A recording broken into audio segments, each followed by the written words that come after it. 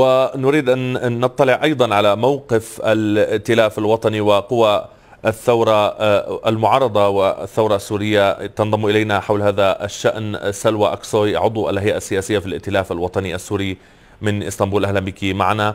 حتى اللحظة لم يصدر الائتلاف الوطني بيانا حول تصريحات وزير الخارجية التركي. ما السبب؟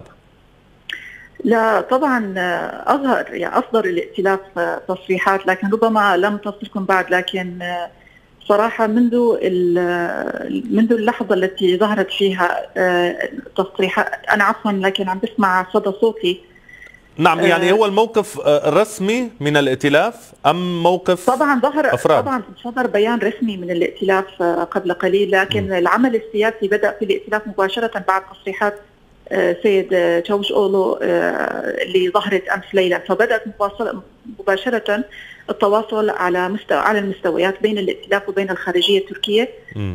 طلبنا في توضيح لكلام السيد رئيس الوزراء خاصة إنه كان نوعا ما في أحدث صدمة صراحة لدى الشارع السوري سواء داخل سوريا أو حتى خارج سوريا. وكان تواصل على أعلى المستويات واستمر لساعات طويلة. م. تم على أثره تعديل البيان اللي صدر عن وزارة الخارجية أو توضيحه بشكل أفضل. وأيضا المتحدث باسم الخارجية التركية كمان أصدر بيان. هذا كله نتيجة صراحة عمل سياسي دبلوماسي بدأ من من لحظة صدور التصريحات السيد رئيس وزير الخارجية.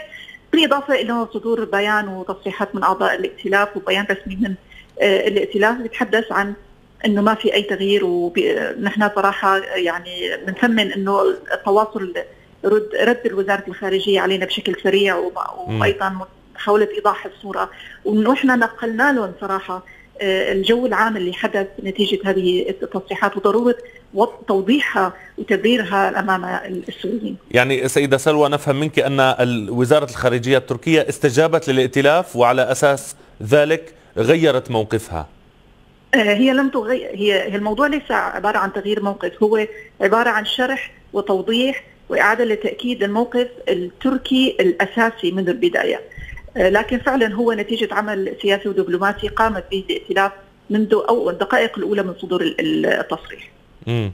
طيب اليوم الائتلاف هو ممثل السوريين أمام الحكومة التركية. إلى أي حد تنسقون فيما بينكم في مثل هذه القضايا التي تعتبر هذا التصريح يعتبر امتداد لتصريح سابق أيضا لمولود جاوش أوغلو ليس تصريحا جديدا يعني.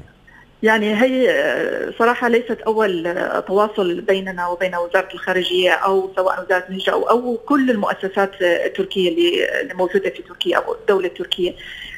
سواء في التصريح اللي سبق هذا أو سواء في هذا التصريح فالتواصل بشكل سريع ومباشر يتم يعني بين رئاسة الائتلاف أو الأمانة العامة وبين الجهة المقابلة من الطرف التركي وهي صراحة بسبب هذا يعني التواصل الفعال استطعنا في كثير من الأحيان أنه نحن نوضح بعض النقاط الغامضة أو اللي ممكن تسبب سوء تفاهم أو نعبر عن مبادئ أساسية بالنسبة لنا نحن كسوريين.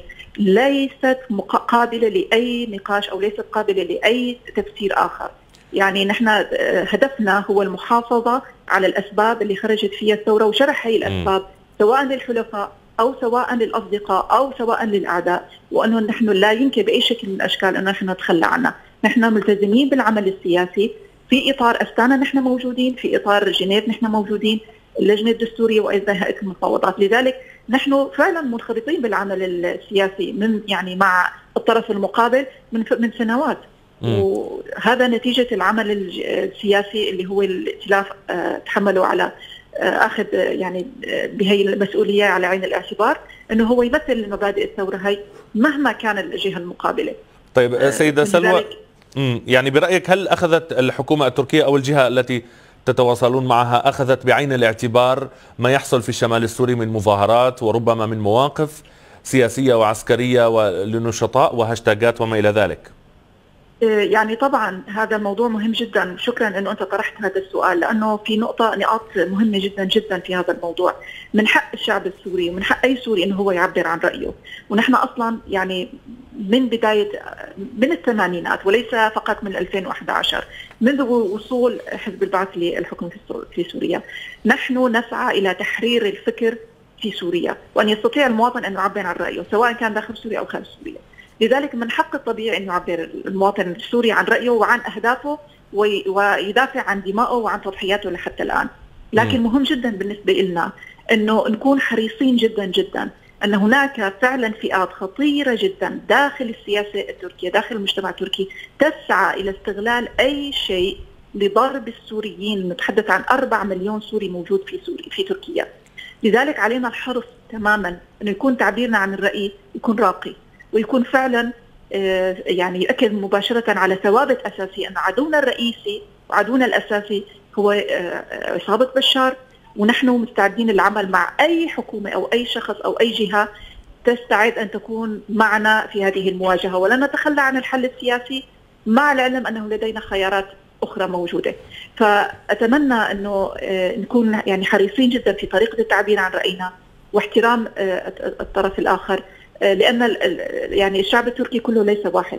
وهم يعني حتى الآن على مدار عشر سنوات صراحة اثبتوا انهم يعني نجحوا في امتحان كبير يعني ليس بالقليل، لذلك لا يجوز أن نترك كل هذا جانبا وأن نركز على آه، نقطة ربما تكون تم تم إيضاحها وتم تجاوزها آه، مع التأكيد بشكل كامل على حقوقنا وعلى رأينا. وعلى ما قدمناه حتى الآن. ولن أننا لن نتنازل بأي شكل من الأشكال. وعدونا الأساسي والرئيسي هو موجود الآن في دمشق.